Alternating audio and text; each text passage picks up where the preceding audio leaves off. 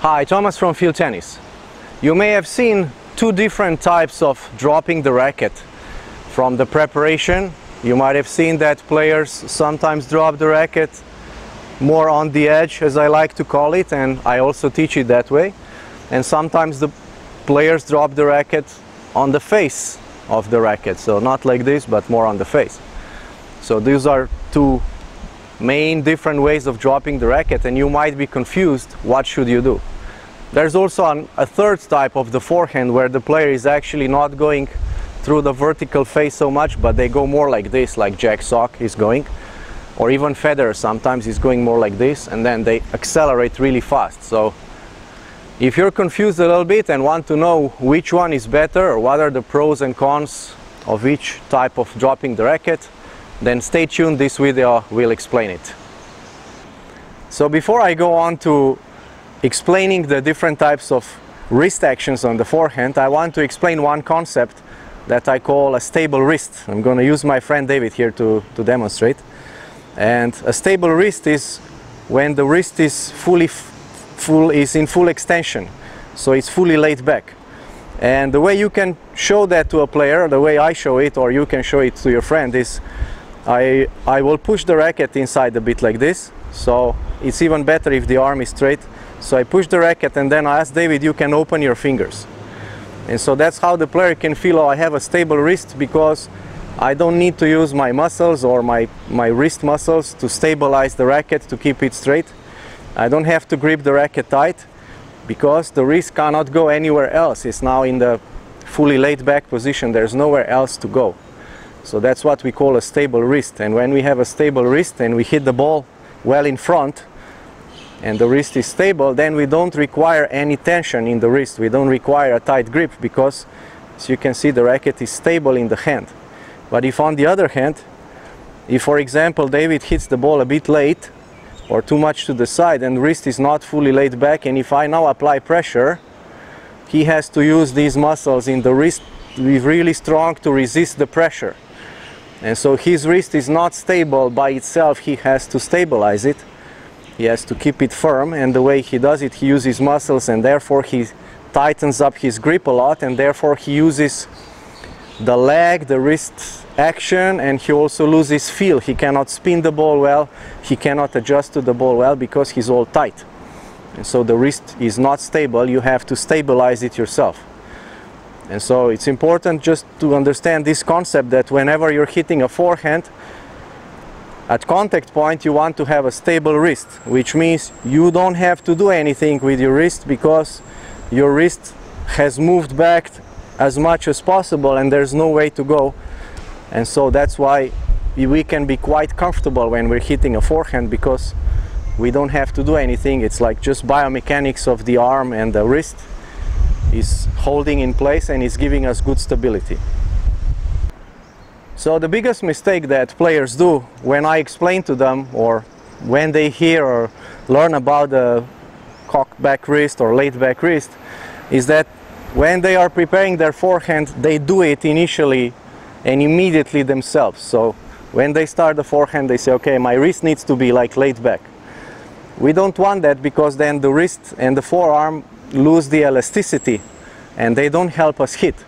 Now what's important to know is that whatever drop technique you're using, the wrist must fall into the laid back position by itself. We must allow it. So one way I show that is that I hold the player's hand like this and I just ask the player to have a bit loose wrist and I'll use their arm and what I do is I just do like this and what they realize what they experience is that they can create a lot of power, they can feel that the racket hits the net very forcefully and yet they are not using their wrist to do it, but it just happens. Because when I move the arm back and then I suddenly go forward, what happens is that the racket falls back by itself. If we have loose enough wrist and we allow it, so we must allow this to happen, and when this happens so you can also do like this a little bit.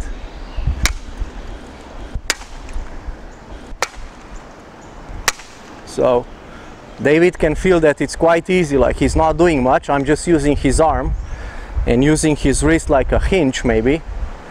And he gets a lot of power very easy and when he hits can we try one more? Mm -hmm. so when he hits in this position he will feel a very stable position. So this hitting of the net also gives like this feeling of very stable racket face and contact point. And so the player just experiences that most of it just happens. So I'm not using his wrist to do something. I'm holding the arm here and I'm just asking him to hold the racket nice. And if yeah you don't have to add I'll do everything. Yes and it's quite a lot of power because I go back and forward. So when I go back and forward the wrist will fall back because of the racket's weight. The racket's weight is going to have a momentum that's going this way. So while the racket's going this way I pull forward and the racket or the wrist falls back into place and now it's stable. So we don't have to squeeze the racket. We don't have to hit it will all just happen. So again the tricky thing is that you have to let go of your wrist just before you're about to hit the ball and find this feeling of a very stable wrist. Now for most players that's not so easy to do because a typical club player does exactly the opposite. Can I show? So the typical club player does exactly the opposite when they're about to hit the ball when they're about to go forward, they are, they are starting to tense up their wrist in order to hit strongly with the racket. And so when they tense up with the wrist, the racket doesn't lag in whatever technique, so it doesn't lag, and the wrist never reaches the stable position, so they always have to be very strong in the wrist. So that's why a typical recreational tennis player has no power on the forehand.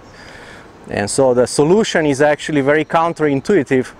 Instead of trying to do more, you have to do less in your wrist. And when you do less, the lag will happen, the wrist will fall back into a stable position. You will start to feel that you don't have to squeeze the racket tight. And from this position, when the wrist is laid back, your forearm muscle will also stretch and it will shoot out the wrist a little bit in any direction, maybe in this direction or even in that direction. And so this like mechanism, this elasticity then just happens. But first we must allow it. So we must allow the wrist to fall back into the laid back position. So that's the key point here that the player feels that this happens by itself and that there is a lot of power. So that's why I use their arm a little bit. So they feel that if they can do even like this for example themselves you will feel it's a lot of power. So you can imagine what will happen with the ball. If you hit the ball with this much power and yet you feel you're not doing much you're just using your wrist like a hinge. So now that you're familiar with the concept of a stable wrist let's take a look at those three forehands or different types of dropping the racket head and what the differences are. So if you are dropping the racket on the edge, and typically the racket will seem to go on the edge if you have an eastern forehand or a semi-western forehand. If you semi-western, you go a bit, a bit more like this. Only if you have a western forehand, then it will always go on the face down, or sometimes even like this. But if you have a eastern or semi-western forehand grip, then when the racket is dropping, it's, I say it's dropping on the edge, so in the direction of the back edge. When we drop the racket, in this position, then the wrist reaches a very stable position very early in the stroke. So when I'm somewhere here, I'm coming here, I'm, I'm already in a very stable position. So there is just a little bit left when I rotate my hips and the racket will lag a little bit more behind me, then it will be perfectly stable. But if I go this way, then my racket and my wrist is positioned correctly very early in the stroke. So I'm here and I already feel my wrist is almost in the same position as, as it will be when I make contact with the ball. So if I go like this and I drop on the edge, my wrist is almost there. So only when I pull forward, it's going to lag a bit more and fall into place. So it's very early in the position, early in the stroke. So that makes it much easier for me to time my stroke because I can hit the ball here or here or here or here or here and my wrist is already stable and positioned and my racket face is in the right alignment or so in the right angle. So it's like perpendicular or almost perpendicular to the ground. So that gives me very good control of the racket head. It makes it easier for me to time the ball, but I have slightly less power. So if I demonstrate one forehand like that, you can see that when I start my wrist is is already set. It's already almost set. It just falls back a little bit when I pull forward.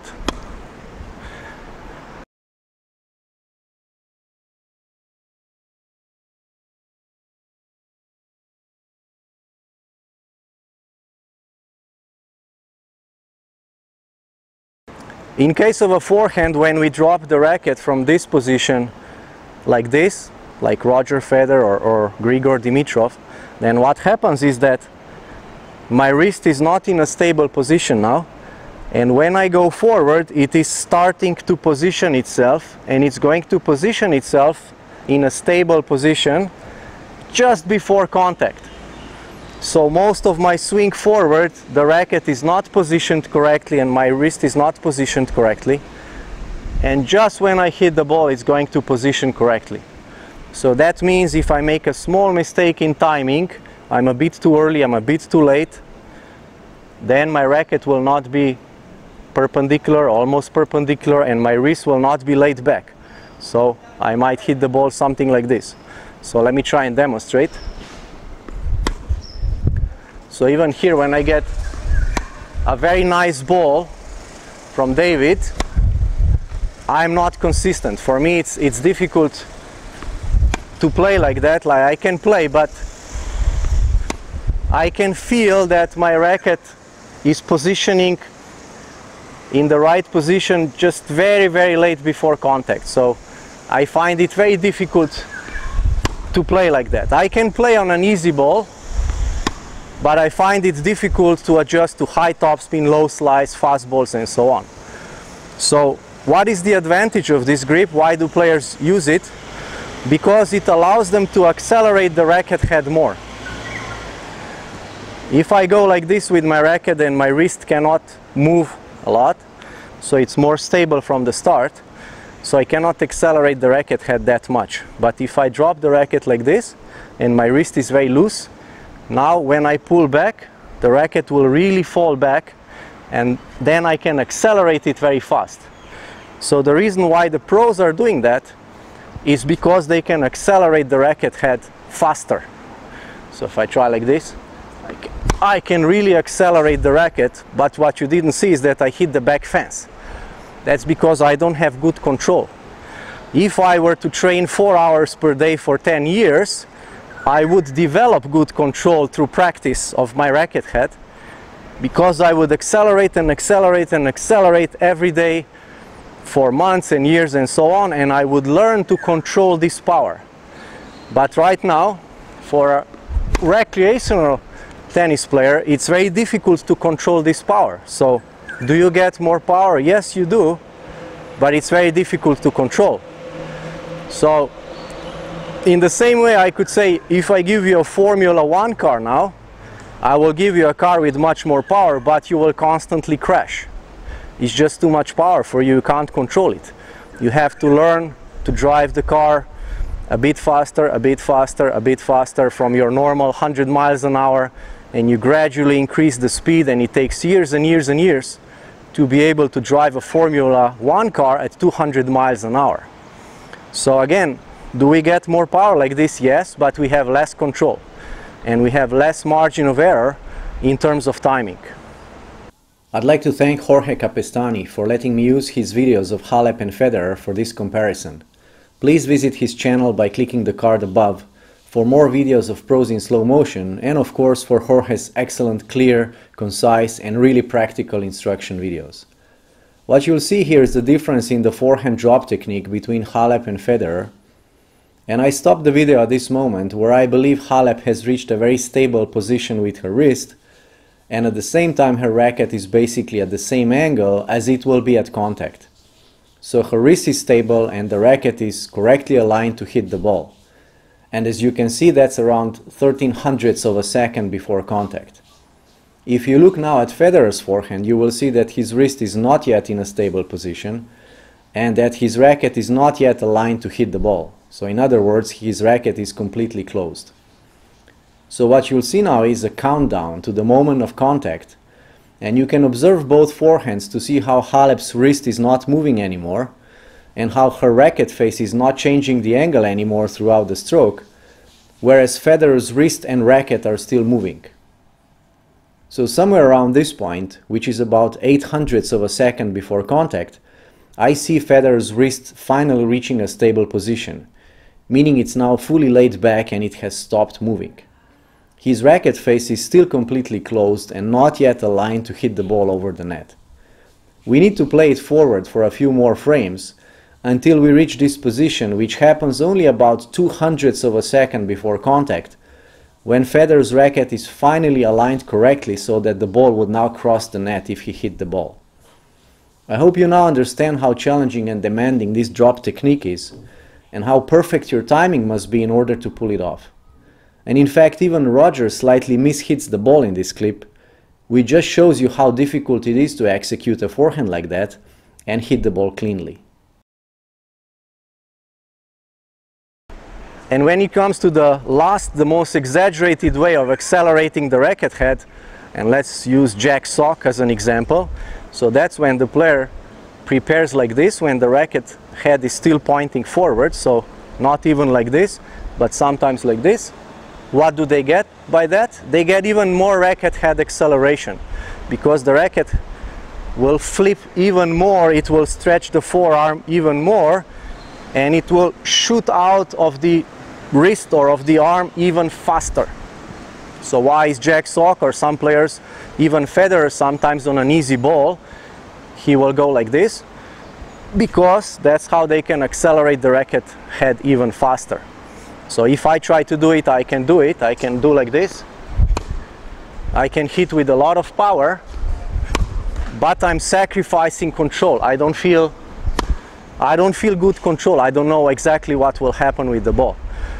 So again, for me, it's too much power. I, I don't need so much power. Using like a more normal forehand technique, and again, this is not classic old school forehand. This is the, the forehand technique dropping on the edge is what Andre Agassi was using, and he had a pretty good forehand. What most women on WTA tour are using, Halep, Sharapova, you name it. Uh, Del Potro is playing more like this. Janko Tipsarevic is playing a bit more like this, he's not dropping, and so on. So there are a lot of players still using this technique that gives them a lot of control and still enough power. And so dropping the racket on the face or going like this will give you more power but less control. So again, the, the difficulty for a recreational tennis player is that you don't have enough practice, you don't have enough repetition to actually learn to control this power. And the disadvantage that you have is that your racket will position in the right position and your wrist just at the last split second. So if you make one small mistake in timing of the shot, you're going to probably miss by a lot. Whereas on the other hand, when you go more like this and your wrist is already stable, you have much more margin for error in case you mistime the ball, which you will, and yet you will still have enough power for our level of play.